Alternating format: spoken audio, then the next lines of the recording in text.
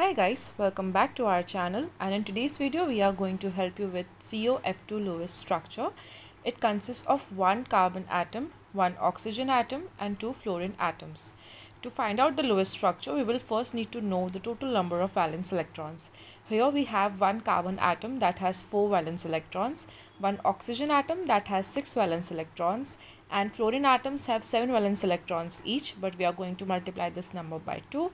So in total we have 24 valence electrons for this molecule. Now for the arrangement I am going to place carbon atom in the center, oxygen atom will be placed on the top and two fluorine atoms will be arranged around this atom like this. Now to show a bond between these atoms, we are going to place a pair of electrons. So I'm going to place a pair of electrons between carbon and oxygen atom, carbon and fluorine atoms. Doing that, we will be using up 6 out of 24 valence electrons and now we are left with 18 more. If you look at the structure closely, you will come to know that um, oxygen and two fluorine atoms need 6 valence electrons to have a complete octet.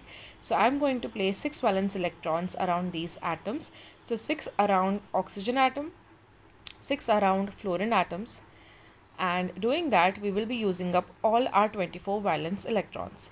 Now here the only uh, here so now you can see that oxygen and fluorine atoms have complete octet but when you look at the carbon atom it only has 6 valence electrons and generally we um, opt for structures in which all atoms have complete octets.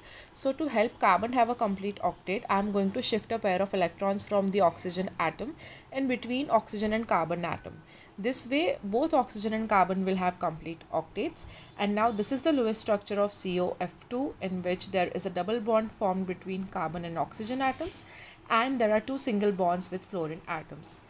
And I hope this video helps you to understand that. For more such videos on Lewis structure, molecular geometry, polarity of the molecules, make sure to subscribe to our channel and thanks for watching.